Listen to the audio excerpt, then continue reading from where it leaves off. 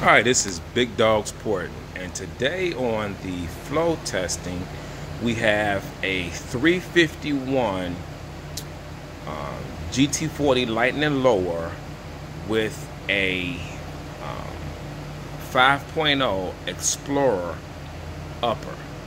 Now, this customer uh, wants to run this application on a stroker motor. Um, it's a nitrous application. It's going to have a half an inch nitrous plate that's going to go between the upper and lower. And he wanted um, this combo stage three ported. So he wanted to be able to run um, extended RPM and support more horsepower naturally aspirated as well as more horsepower once he kicks on the nitrous. So um, he sent us this intake manifold and we're going to flow it um, after we cleaned it up, sandblasted, you know, some of the cast and paint off of it, uh, cleaned it up, and we're going to do an initial flow test to see what this combo flows stock. So here we go. We're flowing the number, you see a six, the number six runner and we're at about 230 CFM. About 230 on the number six. Um, the lower did have some gasket matching as, as, as, as far as any previous work done to it. Um, gasket matching really doesn't, you know, increase CFM. You know, that's just pretty much for cosmetics most of the time if you don't hit the the ports entry, um, the curves, um, uh, the radiuses. So gasket matching, if that's all you're doing, it pretty much results in no significant CFM gain, especially when you have a stock upper. Um, the gains are going to be minimum. So we're going to go ahead and treat this manifold with our stage three porting.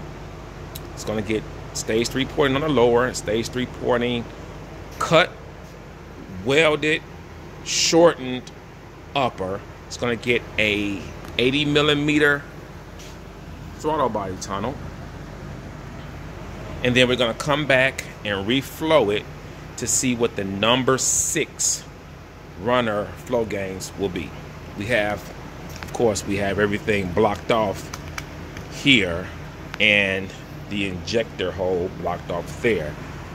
Um, and for those that don't know, our flow bench calibrates the readings, um, uh, calculates the readings at 28 inches. So whatever the depression is on our flow bench, uh, it's going to automatically calculate to 28 inches. Um, we can run 28 inches, but we have to run more motors, which uh, is a pretty big draw and it's not needed. You know, we do our flow testing here um, to gain before and after results.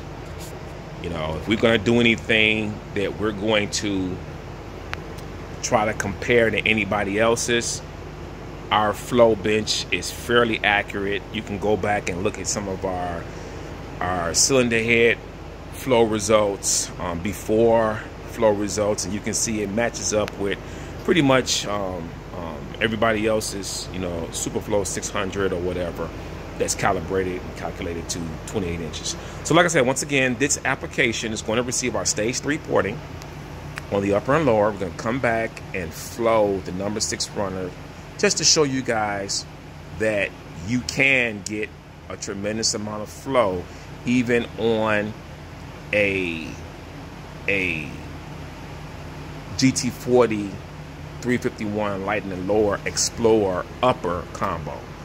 Um, so stay tuned and see you guys at the track.